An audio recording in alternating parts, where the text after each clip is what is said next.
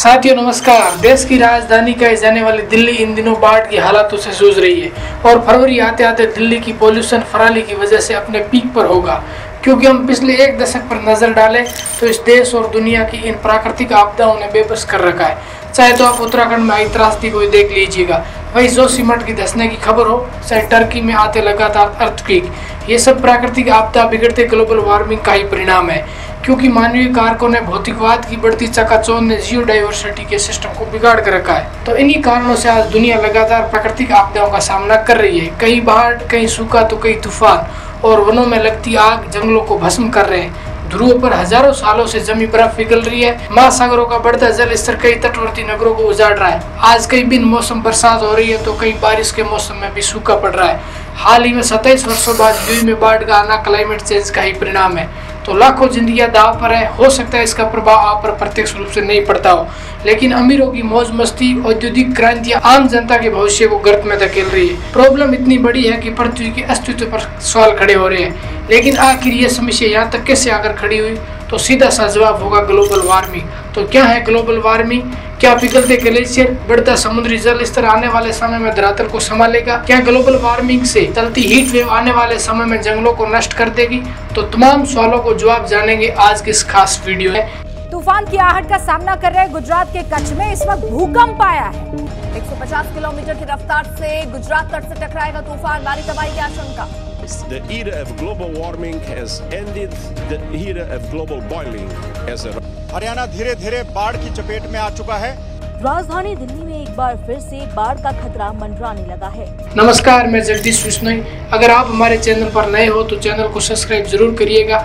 क्योंकि आपके लिए नॉर्मल बात है, लेकिन हमारे लिए बहुत बड़ी ताकत का काम करेगी। तो आते हैं वापस अपने टॉपिक पर। तो ग्लोबल वार्मिंग को आसान भाषा में समझे तो वायुमंडल में कार्बन डाइऑक्साइड का बढ़ना और घटती ऑक्सीजन की मात्रा के बढ़ने तापमान से होने वाली प्राकृतिक असंतुलन ग्लोबल वार्मिंग कहलाता है। तो ग्लोबल वार्मिंग से बढ़ते तापमान के प्रमुख क्या कारण है? तो आपके सामने मैं तीन रीजन रखूँगा। पहला इंडस्ट्रियल इंडस्ट्रियल रिवोल्यूशन जब से औद्योगिक क्रांतियों की शुरुआत हुई है तब से पृथ्वी के भीतर सीओ की मात्रा तेज़ी से बढ़ रही है।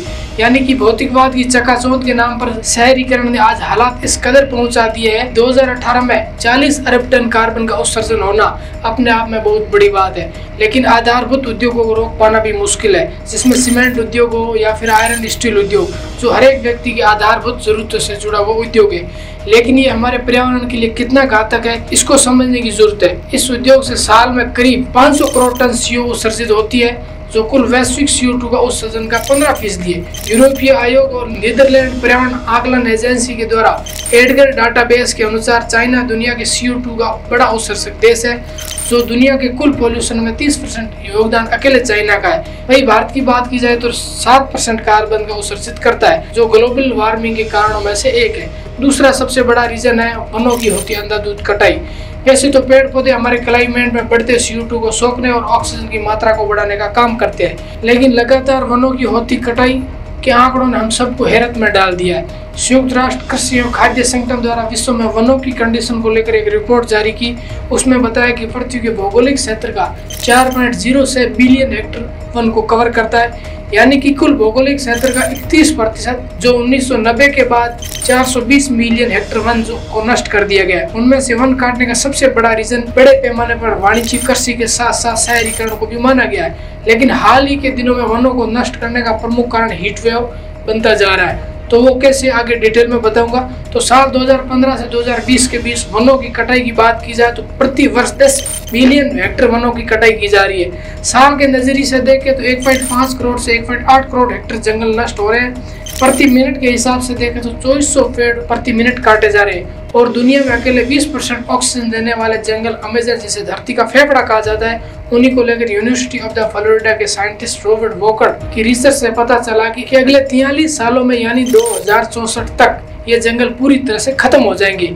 इतनी बड़ी वजह हीट वेव से लगती आग और ताबड़तोड़ वनों की होती कटाई। वैसे तो एक पेड़ की महत्ता को समझे तो मोटा मोटी तौर पर एक दिन में 200 केजी ऑक्सीजन छोड़ता है, जिसमें सात से आठ लोगों को ऑक्सीजन की पूर्ति कर सकता है। वही एक पेड़ साल में 120 किलोग्राम कार्बन डाइऑक्साइड को सोख लेता है। तो इस तरह की अंधाधुंध पेड़ों की कटाई ने साफ़ ज़ाहिर किया है कि कटाई की वजह से घटती ऑक्सीजन और बढ़ता सीओ वर्तमान और भविष्य को ताक पर रख दिया है। और आने वाले समय में जियो डाइवर्सिटी व मानव जाति के लिए जीना दुभर हो जाएगा। तीसरा बड़ा कारण हीट वेव से उजड़ते जंगल और होती मौतें। वैसे हीट वेव हमारे जितने जंगलों के लिए जितना नुकसान है उतना ही हमारे बॉडी के लिए नुकसानदायक भी होता है, क्योंकि ज़्यादा हीट वेव से इम्यूनिटी ग्रो करती है, विश्व स्वास्थ्य संगठन डब्ल्यूएचओ और 35 यूरोपीय यूनियन के देशों में स्टडी के मुताबिक पिछले साल मई में सितंबर तक इकसठ हज़ार लोगों की गर्मी यानी हीट वेव की वजह से मौत हुई है। पिछले साल में गर्मी यूरोप के इतिहास में सबसे भयानक गर्मी थी वही हीट वेव से अमेजन के जंगलों में बढ़ती आग पूरी दुनिया को चिंता में डालने जैसा है। क्योंकि आंकड़ों की भाषा की बात करें तो 2019 अब तक चौहत्तर हज़ार बार जंगलों में आग लग चुकी है। ब्राज़ील की national institute of the space research के सैटेलाइट डाटा के अनुसार 2018 में आग लगने की घटना में चौरासी प्रतिशत की वृद्धि हुई है। तो इस गुणोत्तर ग्रोथ के हिसाब से देखा जाए तो दो तक अमेजन के वन खत्म हो जाएँगे। तो अमेजन के वन करीब 20 परसेंट ऑक्सीजन की सप्लाई करता है पूरी दुनिया में। तो ग्लोबल वार्मिंग को लेकर वर्तमान और भविष्य में क्या क्या नुकसान हो सकते हैं, हमें किन किन परिस्थितियों का सामना करना पड़ सकता है, इन्हें भी समझिए। तो बढ़ते तापमान के चलते एशिया के दक्षिणी पश्चिमी एरियाज़ में मानसून में अचानक बदलाव देखने को मिलेंगे। Inter governmental panel on climate change यानी आईपीसीसी संयुक्त राष्ट्र की एक संस्था है, जिससे जलवायु परिवर्तन का आकलन करती है। तो रिपोर्ट में बताया गया कि 1850 से 1900 के बीच दुनिया में जो औसत तापमान था, वो अब 1.15 डिग्री सेल्सियस से बढ़ चुका है। यानी ग्लोबल मीन टेम्परेचर में इतना इजाफा शायद कभी नहीं देखने को मिलेगा। रिपोर्ट में आगे कहा गया कि पृथ्वी की औसत सतह का तापमान साल 2030 तक 1.5 डिग्री सेल्सियस बढ़ जाएगा और साल 2015 से 2022 तक आठ साल बाद गर्म रहे, जो आपने और हमने सबने महसूस किया। वही विश्व मौसम विज्ञान ऑर्गेनाइजेशन की रिपोर्ट में बताया गया कि दुनिया भर में जो हो रहे जलवायु परिवर्तन का तापमान, सबसे ज़्यादा बुरा असर भारत, पाकिस्तान और बांग्लादेश पर देखने को मिलेगा, जिसे हम कभी भयंकर लू से बिहार उत्तर प्रदेश में सौ सौ मौतों के रूप में देखते हैं, क्योंकि साल 2023 में बिहार और उत्तर प्रदेश में लू से चपेट में आने से 100 लोगों की मौत हो जाती है। वही बदलते मानसून के रूप में हमने 2017 में उत्तराखंड की त्रासदी आसाम, उड़ीसा, वेस्ट बंगाल, यहाँ तक इस बार यमुना नदी दिल्ली को भी नहीं छोड़ा। ये बेमौसम के बड़े स्तर का बदलाव ग्लोबल वार्मिंग की वजह से देखने को मिलते हैं। वही साथ ही कनाडा के बेकुअर में 2022 में इक्यावन डिग्री सेल्सियस तापमान जो कनाडा की हिस्ट्री में उच्चतम था, क्योंकि कनाडा में इससे पहले 45 डिग्री सेल्सियस से अधिक तापमान कभी नहीं था, जिसमें करीब 130 लोगों की मौत हुई। यहाँ तक कि भयंकर गर्मी के कारण ब्रिटेन में राष्ट्रीय आपातकाल की घोषणा करनी पड़ी। तो ग्लोबल वार्मिंग को लेकर हालात कितने बदसर से बदतर होते जा रहे हैं, इसका अंदाज़ा आप लगा सकते हो। दूसरा, पिघलता ग्लेशियर सिकुड़ती जमीने। पृथ्वी पर दो लाख ग्लेशियर है, जो करीब सात लाख छब्बीस हज़ार स्क्वायर किलोमीटर में फैले हुए लेकिन जलवायु परिवर्तन ने ग्लेशियर को भी पीछे नहीं छोड़ा। आइसलैंड, ग्रीनलैंड, अंटार्कटिक सहित विभिन्न देशों के ग्लेशियर तेज़ी से पिघल रहे हैं। भारत के ग्लेशियर भी जलवायु परिवर्तन से असर से अछूते नहीं है, क्योंकि एक तरफ़ समुद्र का जल स्तर बढ़ेगा तो दूसरी तरफ़ दुनिया जल संकट भी घेरेगा आइसलैंड के सबसे प्राचीन ग्लेशियर में से एक ओक जोकुल ग्लेशियर, जो पूरी तरह से सूख गया दूसरी ओर आइसलैंड में 2 अगस्त 2019 को एक ही दिन में 12 बिलियन टन बर्फ़ का चादर पिघल जाना अपने आप में शौक करने वाली खबर है। वही संयुक्त राष्ट्र के वैज्ञानिकों की रिपोर्ट में कहा गया कि 2050 तक समुद्र का जल स्तर बढ़ने से बांग्लादेश का 17 प्रतिशत भाग डूब जाएगा। तो आप अनुमान लगा सकते हो स्थितियाँ कितनी भयावह हो सकती है। क्योंकि जब एक साइक्लोन आता है तो तटवर्ती एरियाज़ में वहाँ के लोगों को बचाने के लिए कितने बड़े बड़े ऑपरेशन करने पड़ते हैं? बल्कि यहाँ तो सत्रह प्रतिशत एरिया जलमग्न होने की बात की जा रही है। वही हिमालय ग्लेशियरों की वर्तमान स्थिति में हुए हाल के अध्ययन में 750 ग्लेशियरों पर चार दशकों के दौरान बर्फ़ के पिघलने का विश्लेषण किया गया। जिसमें पाया गया कि उन्नीस से 2000 के बीच, यानी 25 वर्षों में हर साल औसतन चार बिलियन टन बर्फ़ पिघल रही है। लेकिन वर्ष 2000 से 2016 के बीच ग्लेशियर को पिघलने की रफ्तार दोगुनी होगी।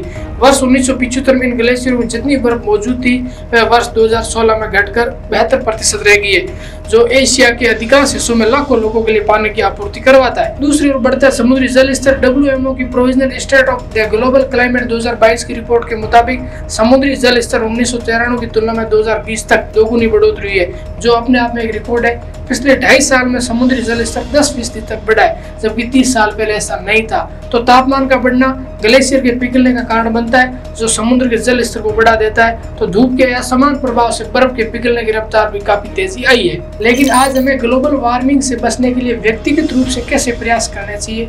तो आज हम सभी को कार्बन न्यूट्रल बनना होगा।